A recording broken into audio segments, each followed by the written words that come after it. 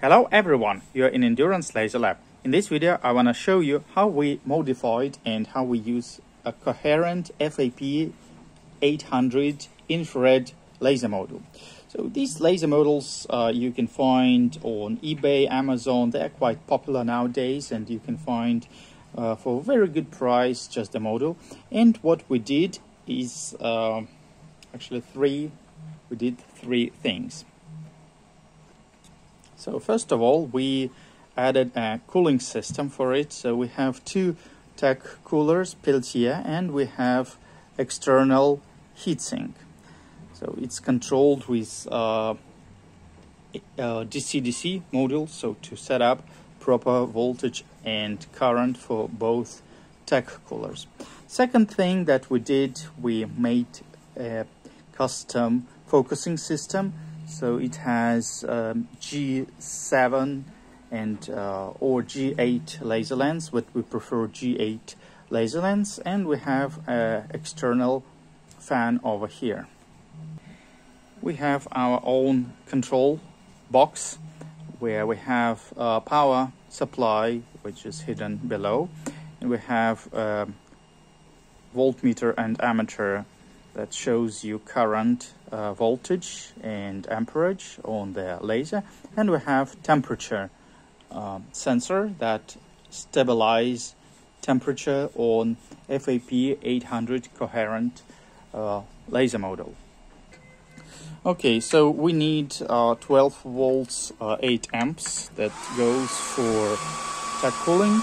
So it's, uh, the temperature is 17 and once it goes more than 18 the TEC cooler will start working.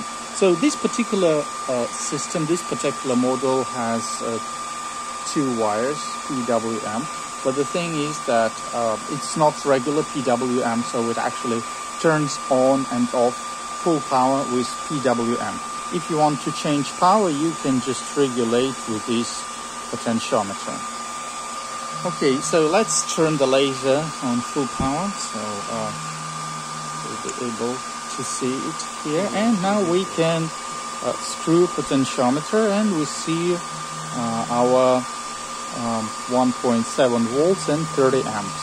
So we can adjust it and you can see the size of the um, of the laser beam spot changes and you see that the temperature is going up and now uh, TEC cooler will start working and uh, will, will cool down the laser system.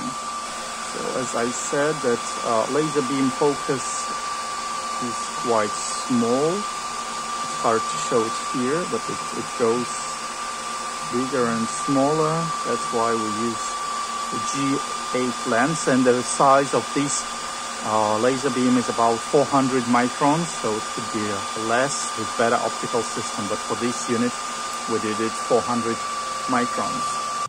So that was a very quick video just showing our uh, 15 watt coherent uh, 15 watt 800 FAP uh, laser module with our uh, laser control box and electronics is inside with our focusing system. So if you have any questions about how to build, how to modify, or you need some custom and special uh, module and or you already have one and you just need electronics or focusing system or cooling system, let me know.